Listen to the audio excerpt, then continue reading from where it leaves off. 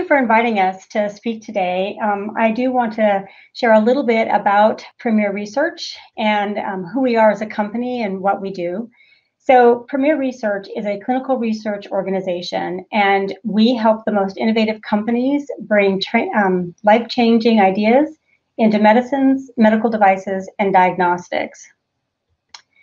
We're a global company, we have over 2,000 employees. We manage projects across 75 countries.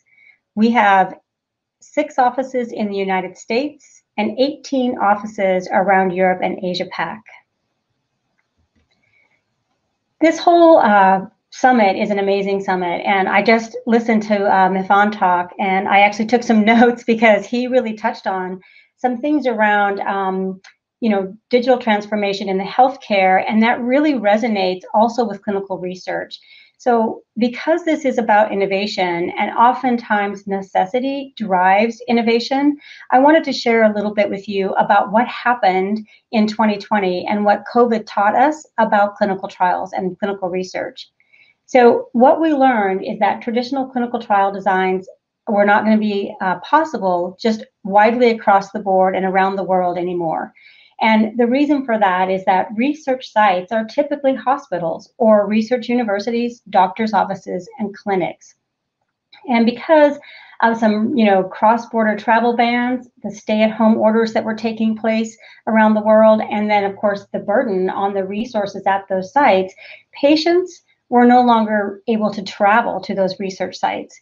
And clinical monitors were no longer able to travel to those research sites. And it became really apparent that the research industry, industry was going to need to pivot quickly in order to keep those life saving therapies um, accessible to those patients. So, FDA and other eg- regulators from around the world reviewed and approved changes in clinical trial processes. And some of those changes were pretty big, and some of those changes were sim- something very simple. And simple things like fitness devices could now be incorporated, like commercial grade fitness devices could be included in clinical trials.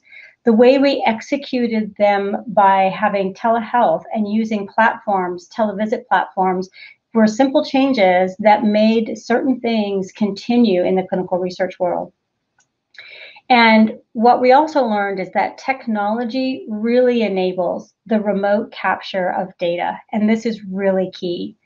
So, in certain clinical trials, patients were able to actually stay at home. And we could have home home health care visits. It could be a traveling nurse or it could be a, a medical professional that could travel to the home, collect the data, collect the samples. Wearables and home sensors could now be used. So they were putting home sensors on doors and appliances and all kinds of great things to track what was happening in a patient's home and collect that data. Investigative product could be shipped directly to the patient. So instead of traveling to the site to get that investigative product, the product could go to the patient's home. QR codes or quick response codes with API integration could track the investigative product delivery and even the patient compliance. You could have a patient that could scan a QR code and then maybe swallow or administer their investigative product and then the API code would go ahead and send back a date and timestamp that that patient took that medicine. Electronic patient diaries, caregiver and clinician assessments were all being captured differently. They're being captured at home, on a tablet, on a laptop, on, an, on a provision device, or even a bring your own device. But really, what makes all of this come together is being able to have that robust integration and interoperability platform that you heard Mifan just talk about a few minutes ago, right? Being able to have the API and the capabilities to integrate this information was very key. In clinical research, we collect a lot of data. We collect not only the patient data itself, their lab values, their um, their personal reported outcomes, their clinician reported outcomes, um, any assessments that we do. But we also capture things about their profile. So we have in there their medical history, we have in there their demographics, we keep their um, over the counter meds or any other medications that they're taking. All of that data is collected as part of clinical trial research. It all goes into being able to understand the efficacy and the safety of what's being investigated. And on top of that data, there's also operational data. So if we change from having a patient go to a site and instead we now have someone going to the patient's home, we need to understand that that visit took place. We need to understand the date and time that visit occurred, and we also need to understand what took place during that visit. And all of this is possible if you have a very robust clinical trial platform. So, coming out of 2020 and everything that it taught us, we now have something different in front of us. So 75% of clinical trial participants travel at least two hours to a clinical site. And rare disease patients often must either fly across the country or even to other countries in order to participate in a clinical trial. Hybrid or alternative trial designs allow us to look at studies differently. Now, most critical patient needs are still going to have to be addressed at the site, right? So you're not going to have a biopsy at home. You know, you're not going to have you know, some extensive, you're not going to get a CAT scan or an MRI at home. However, what we did learn are there are some of those um, assessments that can happen at home. And so now coming out of COVID, what we are designing are these hybrid studies. So the patient can travel to the site and the data can be collected again, still using an iPad or a tablet, and they can collect the same ePro data that could be collected at home. So if we have a home health nurse or a trained medical technician travel to a participant's home, and they're able to collect the same vitals, they can do the same assessments, and they can um, minister some investigative product, then we're able to change the way that studies are now conducted because we have the ability to collect the data differently. We have a robust integration platform that allows us to bring data from multiple different devices in multiple different formats. The use of FaceTime and Zoom and WebEx, things that we used for work and home and connecting with our families, were now being used as platforms to conduct televisit and telehealth. So earlier you heard the talk about the consenting.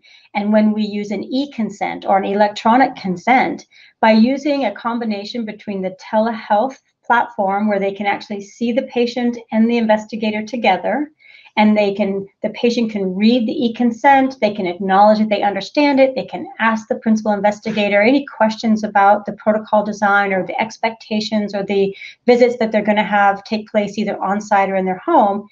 And with the use of these technology platforms, we get a clear understanding that the patient understands and knows how to consent into the study. We capture that data electronically and it's transferred back into Premier Research's entire ePremier ecosystem.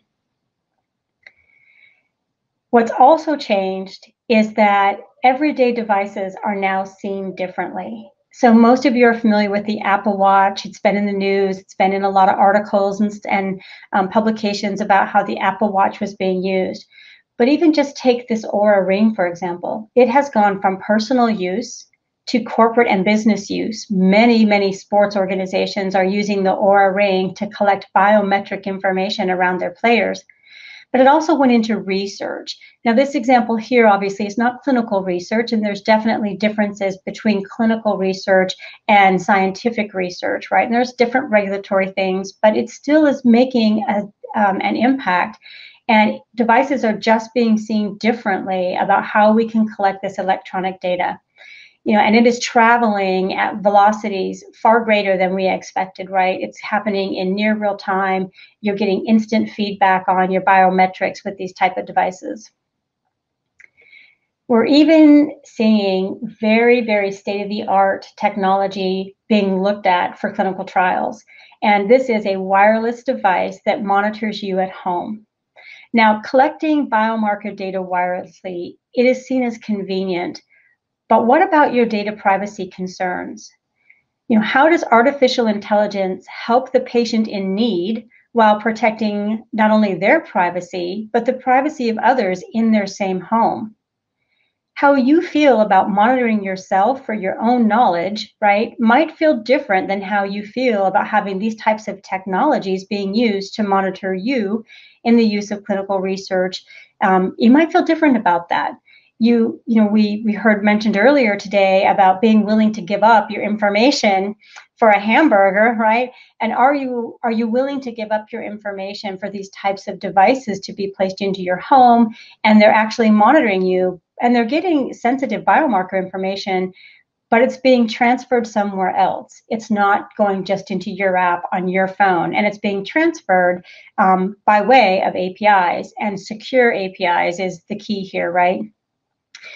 Understanding the balance of patient convenience, being able to collect data remotely, and patient data privacy, and the level of care for the patient are all a big part of what is changing in clinical research. Let's talk about some of the lasting impacts um, that's happening around clinical research. So at Premier Research, patients are at the heart of every one of our clinical trials. And what had previously been seen as something that would be nice to have now might be seen as a need to have. 2020 was a major catalyst for the adoption of what we call decentralized research, hybrid clinical trials, adaptive design trials. Um, lots of different words finding their way through this process right now. We, we saw a shift away from the traditional brick and mortar, and that shift is still continuing today, right? It's really about how do we design the clinical trial differently making sure the patient gets all the standard of care that they need and that clinical research can be a care option is an amazing thing. Being able to make sure that they are safe and get the assessments done where they need to be is really at the core of what is clinical trial research. Um, we're going to see medical devices and wireless sensors play even a larger role than we did before there's actually a lot of studies out there and research where we're using, you know, um, software as a medical device in some particular studies where they're replacing what would be an investigative product with a software stimulant or a game in the treatment of you know ADHD for example.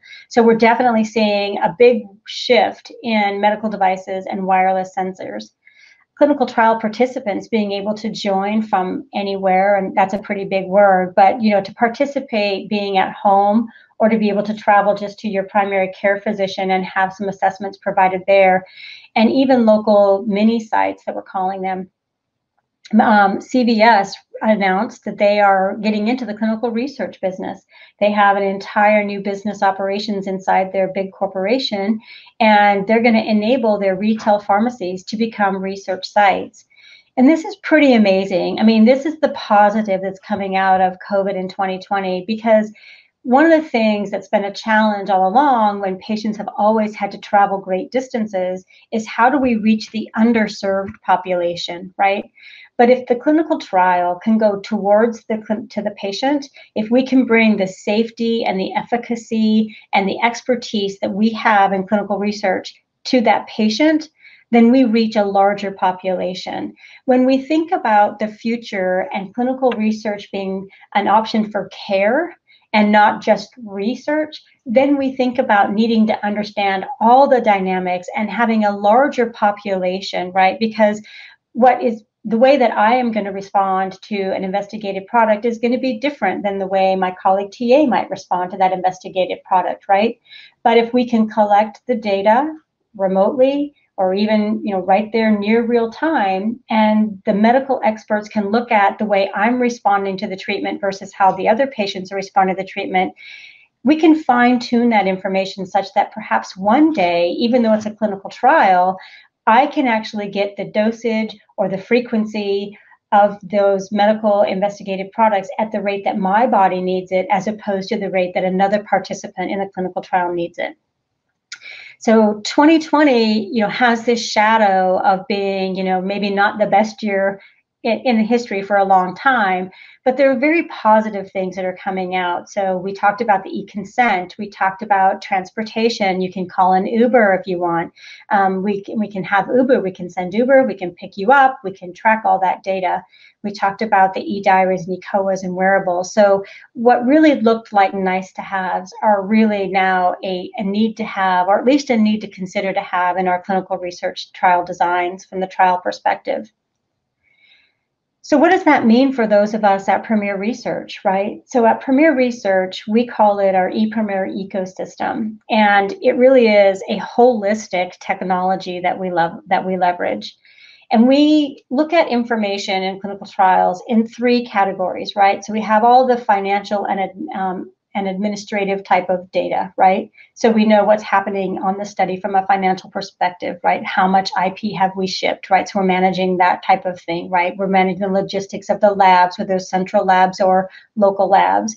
We're looking at study management workflow. This is when did the visit occur? Where did the visit take place? What are the timelines that we're looking at? And then, you know, how quickly are we getting those sites up with their contracts, et cetera. And then, of course, the patient data, which we've talked a lot about, right? Which is what can I collect by mobile device? What are we collecting in an EDC? That's called an electronic data capture. I really enjoyed listening to Mifan talk earlier, and he was referring to FHIR and HL7. And it's really interesting how some of those large EHR companies like Epic um, can we can leverage the WSO2 HL7 compliant and pull data from the electronic health record of the patient into the clinical record of the patient. Remember earlier I said we do collect information about them, their medical history, right, and the medicines that they're taking at this time. And all of that is in the EHR. And when we can use um, HL7 compliant API technology, we can pull it from the EHR into the EDC. And that helps us with a few things, right? A, it gives us security. So we know that the information that's traveling across is the, only the information we need when we need it. It gives us data quality in knowing that we've accessed the right patient's record and that we're pulling the right data across. Today, in traditional clinical trials, what's happening is that data is being entered by the principal investigator or the study team at the site. They're typing it into the EHR. And then eventually, when they get back around to it, key it a second time into the electronic data capture. So we're also see a lag in data entry as well. So at Premier, we take all this information that's collected electronically through all these different systems, we leverage it in through our integration hub. Um, not only do we collect this type of data, but even in COVID, and TA will probably share a little bit about this later, is, you know, we connected up the Johns Hopkins information. And what was amazing about the Johns Hopkins information was that we could take a look at um, where our clinical research sites were around the ro- around the world. We could take a look at the hospitalization rates and the infection rates around the world and lay that over a map globally, so we could look at the impact of what was happening with COVID, the impact of the hospitalization rates, if that was impacting the sites we had, and what could we do about that? Could we have the patient go to a different site that was maybe nearby um, and still get some treatment because the other one was maybe a, higher level hospital that was taking in the COVID patients? So we we actually use um, our our information to manage the clinical trials to keep the trial going to the patient. And so leveraging our WSO2 platform capability gives us these very important things, right? Security, integrations, data standards, and data quality. And so to share more about the architecture itself, I'd like to turn it over to TA Nguyen. He is my colleague and the principal architect at Premier Research. Thank you, LaRae. To support LaRae and all her crazy idea, we at our company called as quote unquote uh, innovation. So we have a lot of data to flow through our uh, systems, and of course, to, in order for us to do that, we will need to have an integration platform. Um, at Premier, we have these five simple um, principles. Everything must be centralized. Uh, make it easier to control all the data, especially the configuration of the data. Things like um, um, tasks, group of tasks, endpoints, uh, data source connections, or notification, you know, how to turn it on, off, review, approval, um, all of that can be, you know, uh, centralized, store in the database, and uh, properly access and properly control. Uh, that's the key thing. Of course, security and access. Um, it, you know, uh, we want, you know, ability to control the data, who's going to see what. Uh, not only that, it's certain sensitive data and all that stuff. We also need to encrypt it, um, not only at you know um, in transit, transit, but it also at, rest as well. So um, the other thing is loose coupling. Um, we want to be able to write code that reusable so we make a point to saying that source data to the ESB and that's separate from ESB to the destination. The reason is, you know, later on, if we need to add new destination, we can easily do that, or we can switch the source or add additional source. We can easily um, done that as well. So reusability is a key thing. Also, you know, a big factor for us to use. Uh, most of our code we wrote, you know, or the ma- majority of it will be in uh, Java and 100% reusable. Um, we also use standard application interface wherever possible. Um, those are the key thing, key principles that we apply to our integration platform. So um, we selected WSO2 um, because I worked with WSO2 before. I'm very comfortable with the team. Um, uh, we selected the the Azure platform to uh, deploy our WSO2 platform on top of it um, because simply because our uh, WSO2 managed cloud subscription team is uh, also a pro uh, on the Azure. So make it very easy for us um, to turn over, you know, for help and make it, you know, su- uh, sufficient.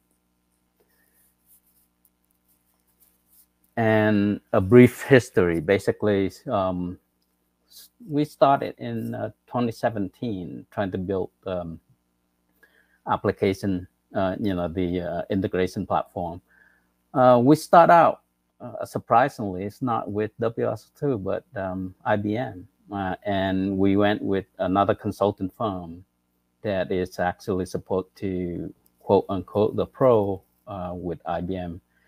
Um, turn out many different things happened that you know it, it didn't work out um, in the end. But when I joined in late December 2017, I familiar with WSO2, and so I quickly contact WSO2 team, and we put together a quick POC. And by um, April of 2018, we got the UAT up and running uh, for the our integration. And August of um, 2018, we got a full blown integration. Um, so our integration pattern start out with a point-to-point integration, very typical. Um, and we, you know, quickly realized that that's not sufficient for a lot of data uh, to be going through and to, you know, especially we keep on adding more and more application to our platform.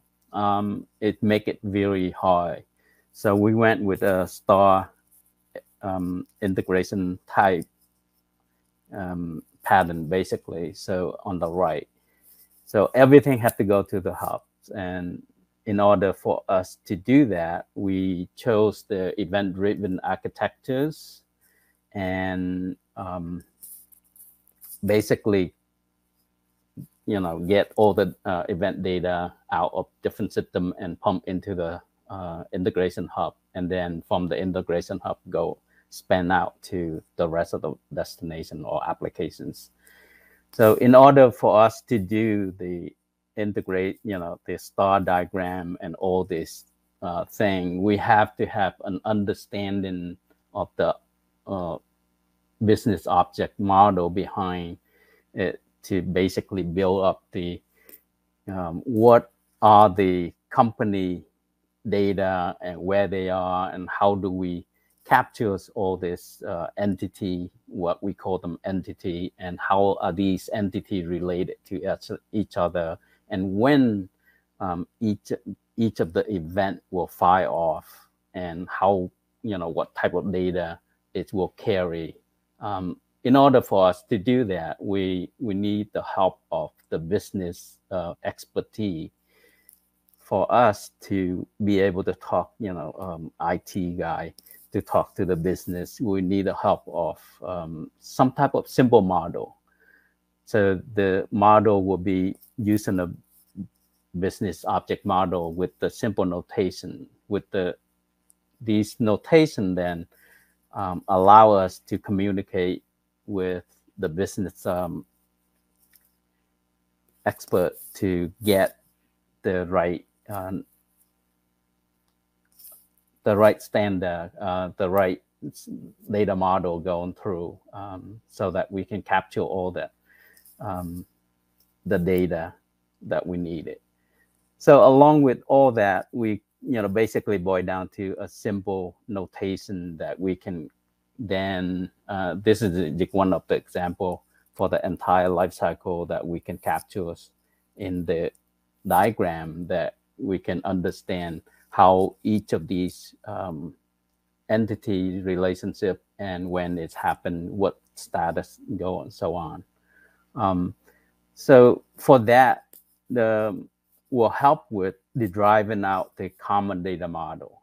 So on the common data model, then you know uh, everything, all the data pumping from different source, going through the common data model, and then return it into destination. Um, so in order for us to do, you know, all these to upper build, uh, upper, um, to communicate with all these different source, um, make it easier to, we come up with the event envelope and that basically we expose a few key things like uh, uh, entity name, uh, event type, the source of the event, event timestamp um, that allow us to communicate without having to know the content of the uh, the message. So we can, you know, then the engine can use using those to route the message to the right locations and so on. And our pattern, our integration patterns is really simple. Everything going through the hub need to go through a transformation. And that transformation is basically we use an XSLT um, and all that XSLT store in the database as um, with the key. It, it determine how to, you know, anything, any a piece of data going through, we want it to conform to a common data model. And then from the exit of it, from our hub, go all the way out to the um, destination, we transform it into the destination um, model, data model. So make it easier for us to communicate. Um, and that will basically support our um, star diagram Of so um, while we waiting for um, back in 2017, while we waiting for uh, the integration hub to engage, you know, get all this uh, um, engagement and paperwork to be processed, I came up with a, literally I wrote a bunch of um, what we call common service all written in Java, and these are the things that is actually uh, basic or what we call them core um, services that support you know data query uh, service. The key thing about data query service is is um, predefined queries and they store in database. It gone through tested approval and review and all that stuff. Um, it's also uh, support nested query.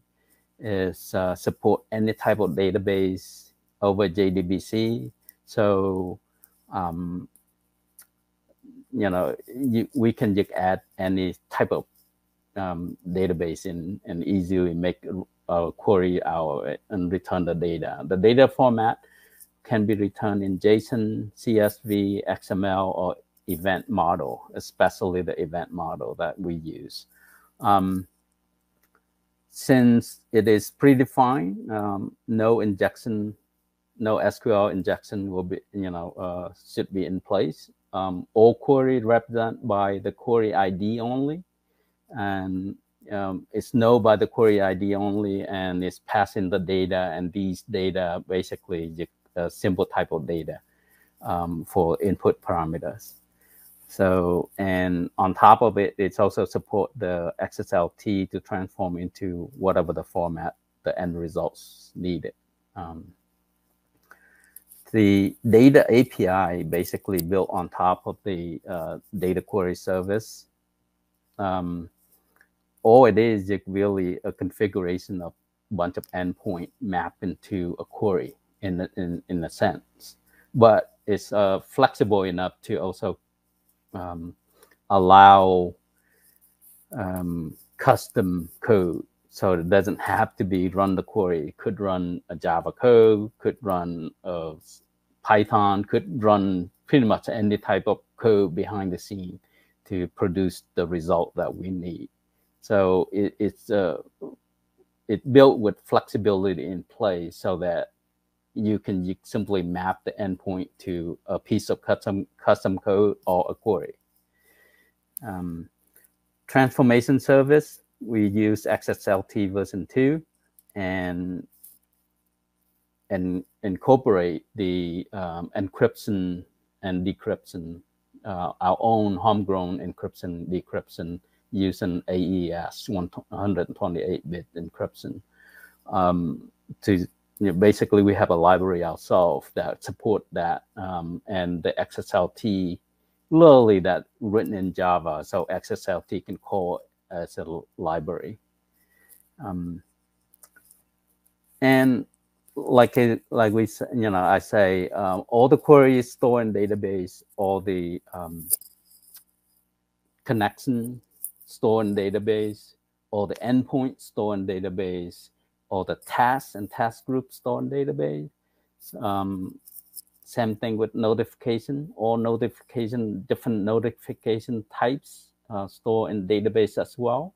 And notification, the way that we designed it is based based on each of the uh, the event and event type. So if something happened to that event or event type, notification will send to a particular user or group or distribution. Um, the those are the things that you know we we separate it, make it configurable everywhere. Um, so with COVID, um, we needed to add a lot more data than a simple event data and all that stuff. So we bring in the file data that come in FTP, come from a share drive somewhere, from data lake, you know, anywhere else, even with the JDBC query. All that. Um, so we quickly bring in or introduce another um, what we call a file integration platform that it allow us to literally download the file from different sources, different location, and consolidate into a global uh, area or, or um, uh, you know a temporary share location that we we use uh, with all the security tracking and all that stuff. And then on the other hand, we also have that capability of configure, again, go in and configure when do we drop the the file? What type of file we drop? Where we drop and and all that stuff. Um, you know, it, to support a different type of uh, data set. So um, to bring it all together, um, we probably in the near future we will look into expand a little bit more uh, of configuration, the alert, fine tune even more. Um, right now we we added the capability to support the file and file stuff, but we didn't have the alert for the file and file share uh, in place. So that's probably one of the things that we're gonna add in the near feature. And then um, the other thing is a major uh, version of migration. We have not talked about this yet, but we are still at version 6.6. We're probably gonna have to go to seven sometime soon. Um, and then, uh, of course, uh, business integrated to a different type of um, clinical application. Those are the highest priority.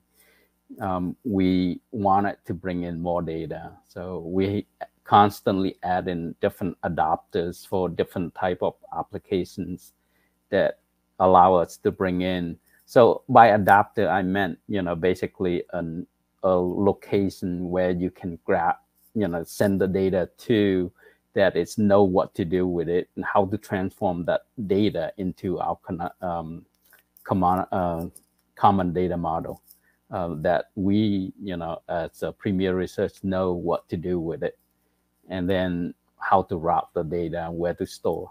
Um, so the other thing is, you know, to also continue uh, evolving into expanding the bomb for clinical data, financial data, uh, and beyond. So, and that's all I have for today.